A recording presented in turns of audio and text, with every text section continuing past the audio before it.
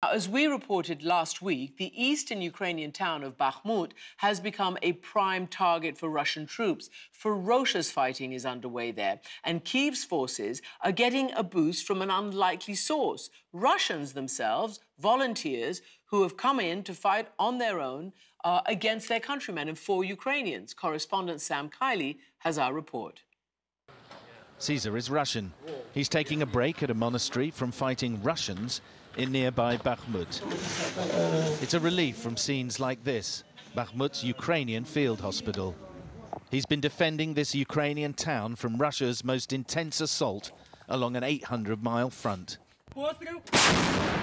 Artillery duels and trench warfare have almost destroyed Bakhmut as Russia throws its army at a bid for victory after months of defeats to the north and south. I love Ukraine. Defending Bakhmut against his Russian motherland is a religious imperative for Caesar. The fighting is very brutal now, he says. There are very few prisoners. When you see those Russians in your gun sights, what do you think and what do you feel? I believe that these people who've broken the law of man and the law of God, I have no pity for them. I take them prisoner if I can, but most often I just have to kill them. So have you killed a lot of your countrymen? A dozen and a half. This is the remains of a Russian Orthodox monastery. Now, for Vladimir Putin, the Orthodox Church is absolutely central to his vision of the Russian world. For some Russians, though, that's a world they don't want to live in. Indeed, they don't want it to survive. Ukraine's Orthodox Church broke with Moscow three years ago. This is all that's left of a rebranded Ukrainian Orthodox St. George's Monastery after nine months of war. Putin says that he defends uh, traditional values, yeah? and that's uh, the result of his defending. A Ruined old monastery.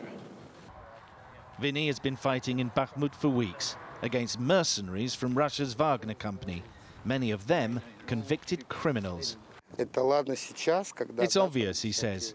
When private companies hire criminals and convicts, imagine. A man kills once and they put him in jail. Then he kills a second time and he becomes a repeat offender under the law.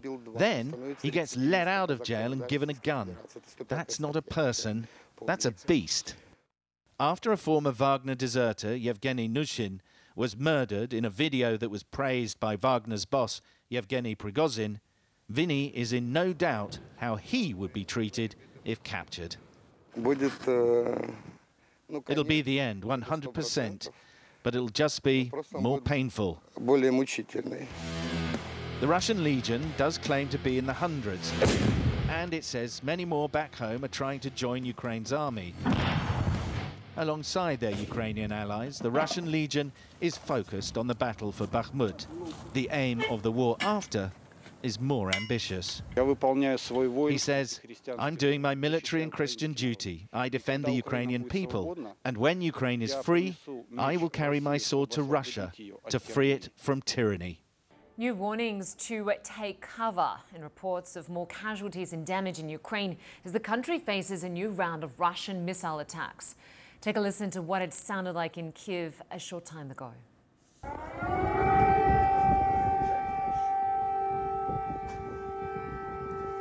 The sound of air raid sirens blaring across the capital. Ukraine's president says his air defense forces intercepted and destroyed most of those Russian missiles. The latest attack appears to be targeting both infrastructure and residential areas. This is the aftermath of the strikes in the Zaporizhia region. At least two people were reportedly killed there. The cities of Kryvyi and Odessa both report no electricity and no running water. And like thousands of other people in and around the capital, CNN's Will Ripley spent hours in an underground shelter as those missiles flew towards the capital. You see some of them in the metro station. Will now thankfully uh, joins us now live, now back above ground. But, but take us back to what it was like, Will, uh, when you're hearing those air sirens overhead, that barrage of missiles uh, striking right across uh, Ukraine. Yeah, it, you know, it's certainly uh, an ominous sound when you hear uh, air raid sirens Uh, we had just finished a live report from this location, and you heard the sirens very clearly. I grabbed my iPhone and shot that video that you just played.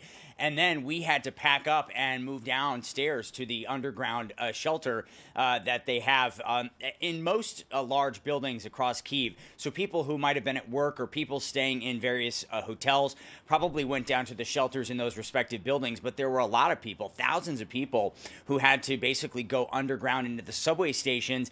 And it was either standing room only, or a lot of people were kind of sitting on the stairs or just sitting down on the floor uh, because that's all you could do. I mean, and you have limited, uh, you know, water, bathrooms, food, and this is several hours that people are down there. So clearly, uh, not a comfortable situation. Uh, a lot of people, uh, yours truly included, uh, grateful to come back up and breathe some fresh air.